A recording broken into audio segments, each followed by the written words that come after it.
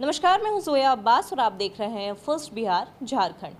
अगर आप भी अपने परिवार के साथ या अपने दोस्तों के साथ राजगीर जू सफारी जाने का सोच रहे हैं तो ज़रा होशियार हो जाइए, वरना एक ही झटके में आपका पूरा अकाउंट खाली हो सकता है। क्योंकि राजगीर जू सफारी को साइबर अपराधियों की नज़र लग गई है। आपको बता दें कि साइबर अपराधियों ने पैसा उगाही का एक नया तरीका ढूंढा है और मोहरा बनाया है राजगीर जू सफारी को। राजगीर जू सफारी इन दिनों पर्यटकों के लिए सबसे पसंदीदा जगह बना हुआ है। ऐसे में हर कोई राजगीर सफारी जाकर खुले जंगल में बाघ शेर और अन्य जानवरों को देखकर रोमांच उठाना चाहता है। वहाँ भीड़ भी काफ़ी हो रही है, इसलिए लोग ऑनलाइन टिकट का ऑप्शन ढूंढ रहे हैं। ऐसे में वो अब आसानी से साइबर अपराधियों के चुंगल में फंस जा रहे हैं। बता दें कि अगर आप घूमने से पहले अपनी आसानी के लिए गूगल पर ऑनलाइन टिकट करवाते हैं या ख़रीदते हैं तो आपका अकाउंट खाली हो सकता है। वहीं राजगीर जू सफारी घूमने के लिए अगर आपने ऑनलाइन टिकट का ऑप्शन ढूंढा है तो टिकट लेते ही अकाउंट खाली हो सकता है। साइबर अपराधियों ने Rajgir zoo safari dot com के नाम से फर्जी वेबसाइट भी बना रखी है, जो देखने में बिल्कुल बिहार पर्यटन विभाग का ऑफिशियल लगता है, लेकिन पूरी तरह से फर्जी है। बता दें कि इस वेबसाइट पर बिहार टूरिज़्म का लोगो भी दिखाई पड़ेगा। इसमें घूमने के लिए अलग अलग रेट चार्ट बनाए गए हैं। जहाँ वयस्कों के लिए अलग और बच्चों के लिए अलग रेट चार्ट है।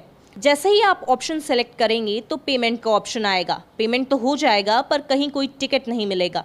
बता दें कि साइबर अपराधियों के इस फर्जीवाड़े में कई लोगों को चूना लग चुका है। बता दें कि राजगीर जू सफारी के नाम पर ऑनलाइन टिकट की खरीदारी कर फर्जीवाड़ा का शिकार होने के बाद साइबर सेल में कई लोगों ने मामला दर्ज कराया है।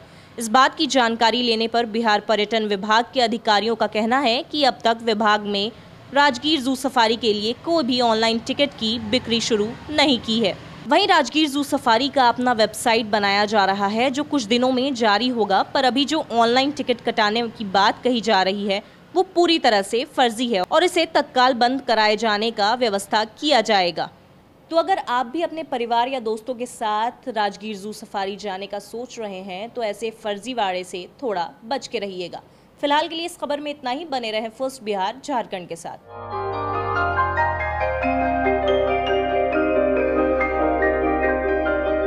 इस कोविड पेंडेमिक में सब ये शहर छोड़कर अपने शहर अपने घर चले गए। हम लोगों का अपना शहर तो है लेकिन वहाँ अपना घर नहीं। अगर सिचुएशन और खराब होता चला गया तो हम जाएँगे कहाँ? अरे ये प्रॉब्लम तो हर शहर में। लेकिन हाँ अपने शहर में भी अपना घर तो होना ही चाहिए।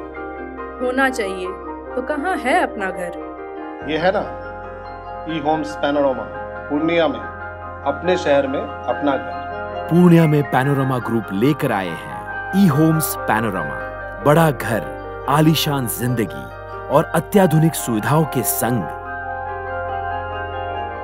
eHomes Panorama, luxurious, lifestyle redefined.